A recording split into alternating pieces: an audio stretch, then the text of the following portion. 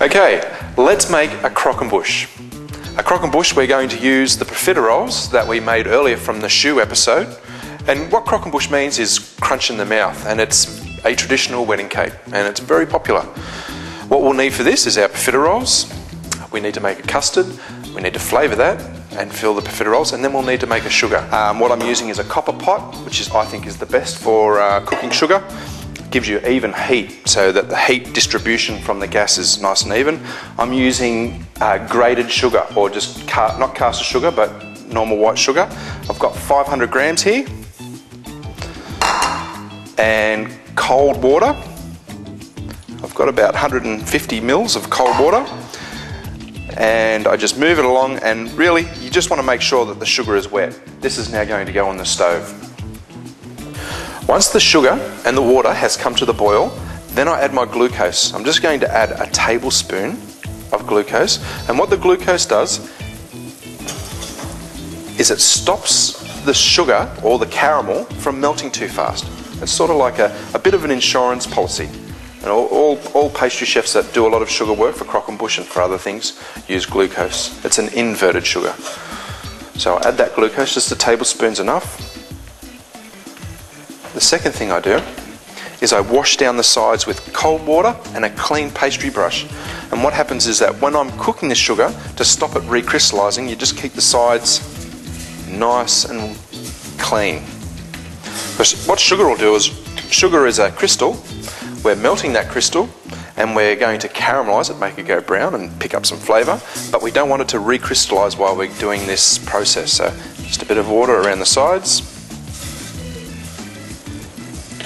And now we just cook it on a fairly high heat, as long as the flames don't come around the outside of the bowl, which is very important. Make sure the flame is sits with under the, the pan or the pot, and we're just going to cook it until it goes a light golden brown. Okay, now we need to fill these profiteroles. So with the custard, it's cooled down, and I'm going to flavour it. And I'm going to flavour this one with Bailey's. I think Bailey's and custard is an awesome combination. Could use Grand Marnier, brandy. What I'm going to do is, again, just make this custard nice and smooth.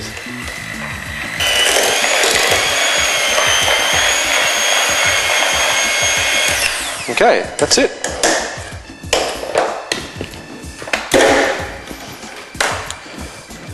Okay, you'll need a piping bag again. And with this soft custard, half fill the bag.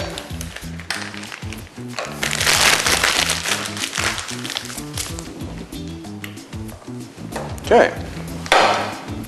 Then your profiteroles.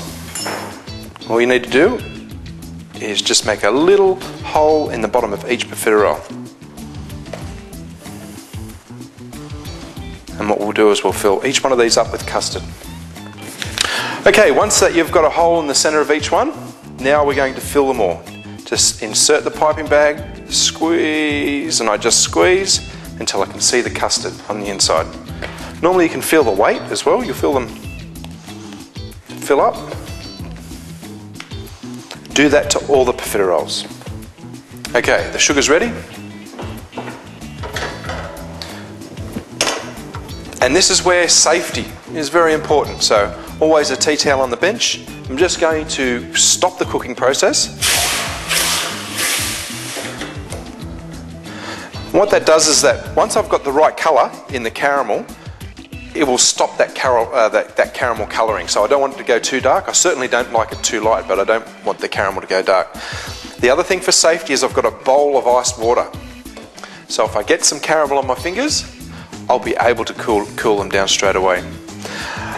For this croquembouche, I'm going to freehand build it. So a lot of the people in the, well, a lot of pastry chefs in, in the profession, they would sometimes use a cone that they've constructed. For me, I personally like a, the look of a freestanding croquembouche, and I think it's, it, it makes it a bit more fun. There's, there's less rules.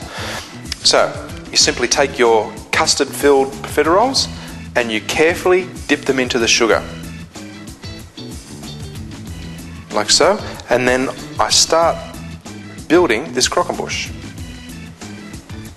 Just one at a time.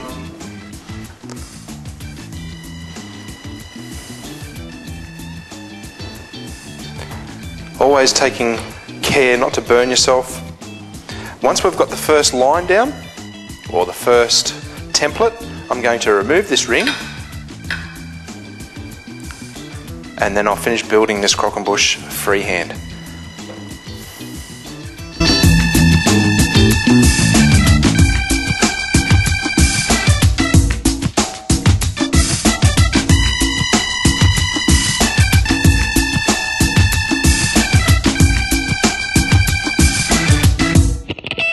Okay, so the construction's finished, and now I'm just going to finish the decorations. I'm just using strawberries around the base, because that goes great with strawberries, and just a little bit of feathering with the caramel.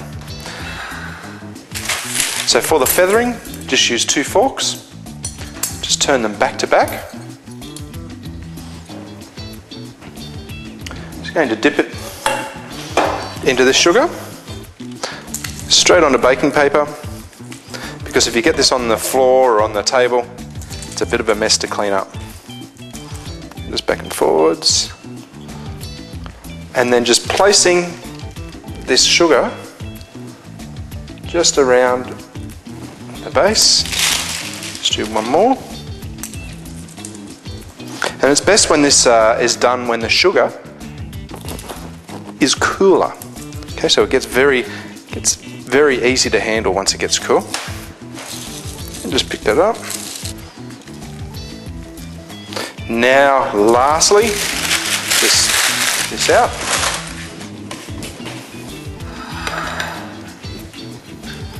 Strawberries. Just going to cut them in half.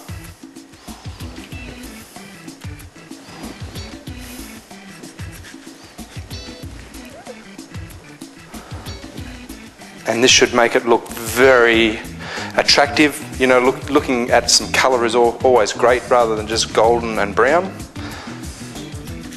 But the way you would serve this is with strawberries and possibly a coulis. Then just a fine dust of icing sugar. So there you go, croquembouche. Fantastic for birthdays, christenings, uh, weddings, and look, you could save yourself hundreds of dollars by making it yourself. It's not a complicated thing to do, and by doing some of these techniques and building it freehand, it's very forgiving.